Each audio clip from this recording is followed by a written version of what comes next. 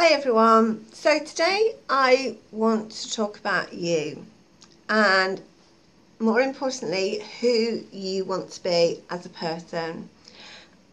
And I think this is a really really powerful topic because I don't think many people actually take the time to get clear about who they want to be.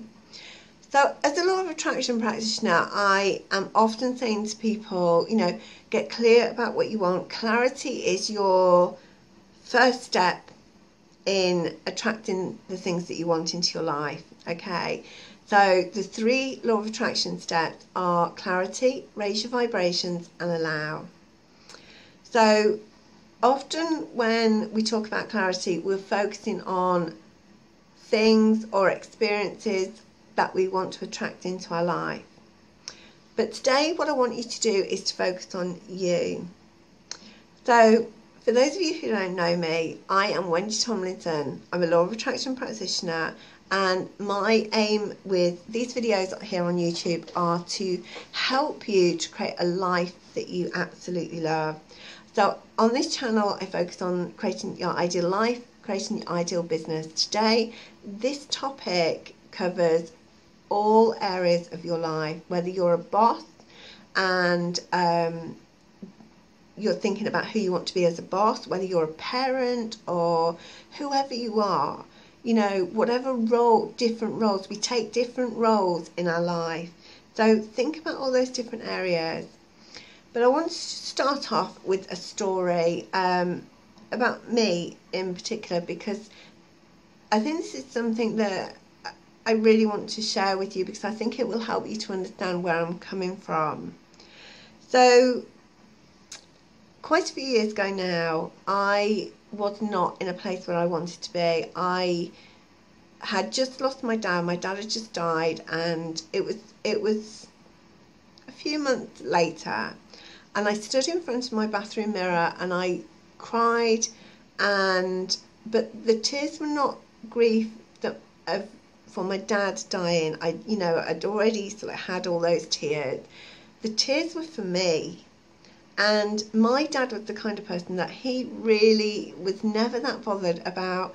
He didn't care what weird career moves that I made or, you know, he, he, he didn't care what I was doing as long as I was happy and as long as I was following my dreams and living the life that I wanted for myself that made him happy. And so on this day, I stood there and I remember thinking, I don't know who you are and I don't like you. And that wasn't a good place for me, but it was a turning point. Okay, so if that's where you're at right now, you know, I'm sending you such a big hug and just know that this is going to be a turning point for you too.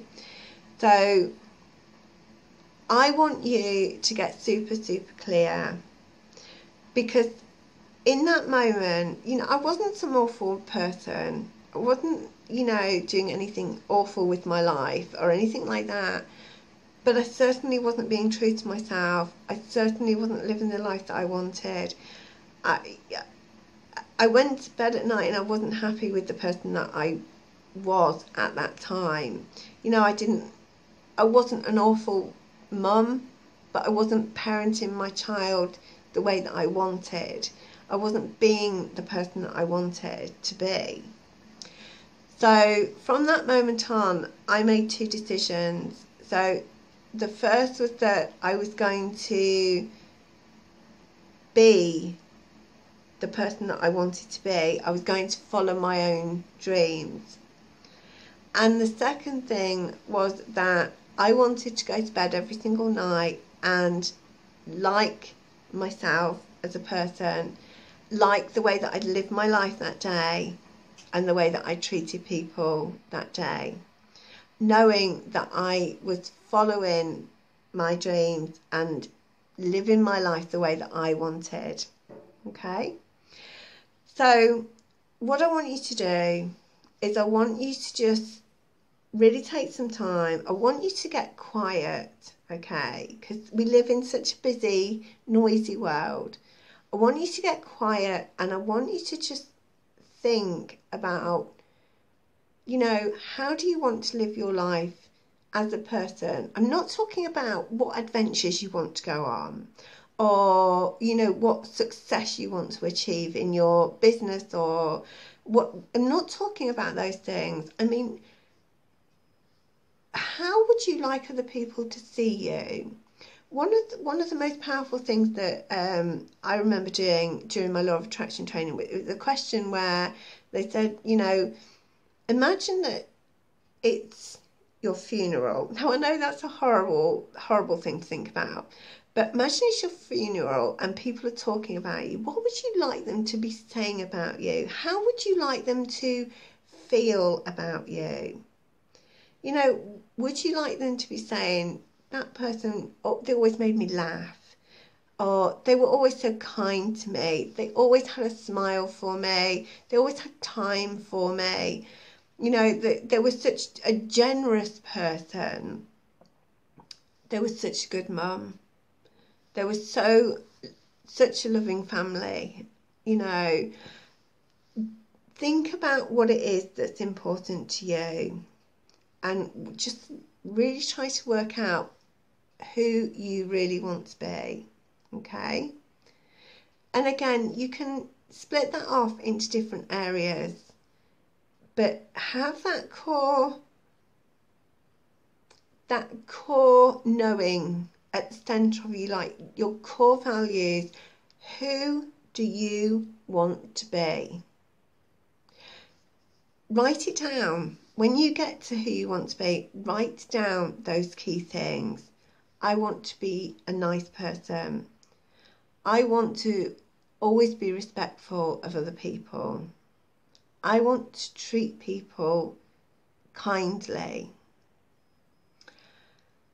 I want to be a really good mum. I want to be a really good role model for my son. I want to be a loving part of my extended family. All of those things, whatever, it doesn't matter what I've just said, it has to be what's important to you personally. Okay? So, you're probably not going to get there today. You're probably not going to even get clear on who you want to be today. Just keep working on this. Okay? And if you catch yourself doing something that is just completely against the person that you want to be, just accept it. Just say, okay, that's where I am right now. The person that I want to be is this person. And that's what I'm aiming for. That's where I'm going. That's where I'm that's what I'm going to focus on being. Okay?